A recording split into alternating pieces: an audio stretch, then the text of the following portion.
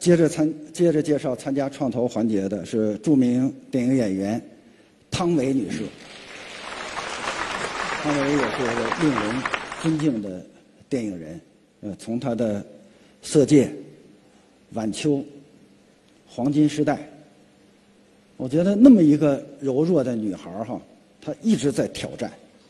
在挑战这种表演的极限，啊，在挑战人们对一个电影人对电影阐释的这种哲学理念，非常了不起。我知道。汤唯为此受了很多的苦，啊，受了受到很多的责难，受到很多的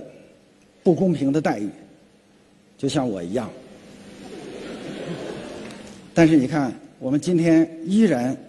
腰杆挺直的站在这里，啊，我们不相信